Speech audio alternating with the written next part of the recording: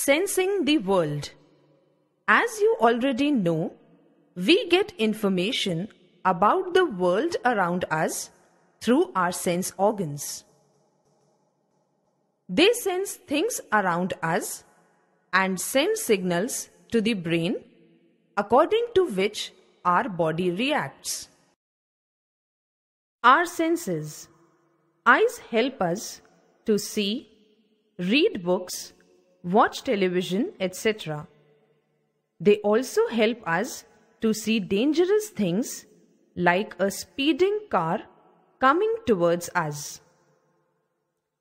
The eyes send signals to our brain and the brain orders the body. Our body reacts accordingly and we move away from being harmed. Our ears help us to hear many sounds like the tinkling of a bell or the honking of cars. Our nose helps us to smell. A smell could be pleasant, like the fragrance of a flower or a perfume, or it could be foul, like the smell from a garbage dump.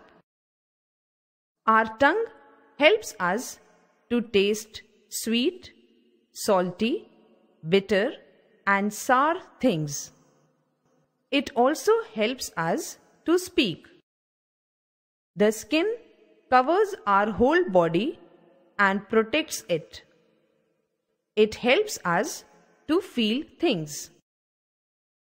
Good touch and bad touch.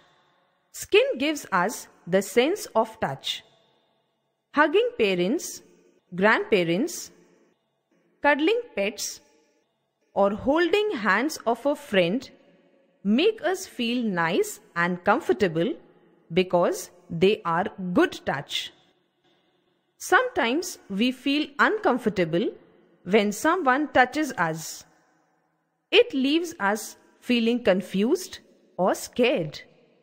It may even hurt us. This is the bad touch. Remember, nobody has the right to touch us.